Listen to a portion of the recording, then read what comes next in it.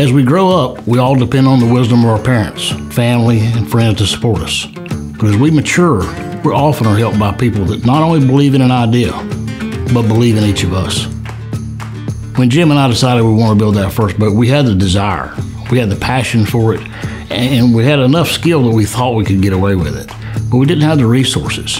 Over the years, we'd met Gene Vogler and Bucky Dennis, guys who shared a passion for Harkers Island and Carteret County and offshore sport fishing.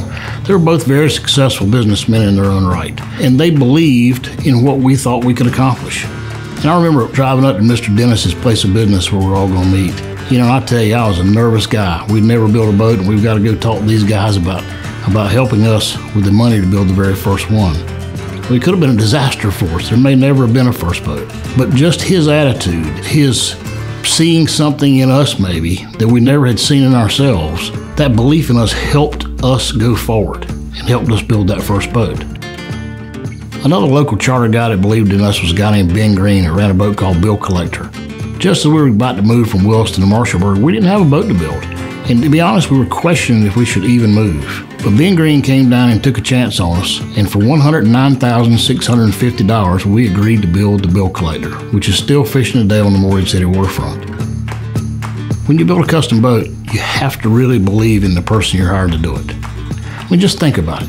You come into our place of business and we show you a sheet of paper and a pile of wood and tell you that's going to be your boat one day. Now, I'm telling you, that's trust. That's believing in somebody. Everyone we ever built a boat for became part of our family, and everyone who owns one of our boats today is part of our family. A lot of customers stand out in my mind. When I sit here today, I think about Dr. Bob Barata. I think about Dr. Johnny Kagan, Dr. Jerry Coates, Carol Thomas, Jeff Burton, and Curtis Strange. Donald Barefoot, who built the first cold molded boat, Craig Linder, who we never even met, his first real professional captain we probably ever built a boat for here, Rob Gallahan, who made us push our limits on his boat and paint it a color we never would have believed. The pools of Campaign the Waste Knot all over the world. All these people had one thing in common. They believed in us and they believed in the future of our company. And they'll always be part of our family. 35 years ago when we met with Gene and Bucky, they just didn't help a business get started. They didn't help us just build our first boat. They showed me how much difference one person can make in the life of another, making me a better person and reminding me that dreams can become a reality.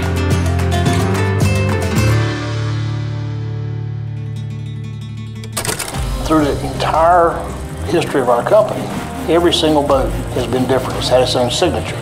It's had its own challenges. It's taught us something. I mean, no boat we ever built didn't make us better.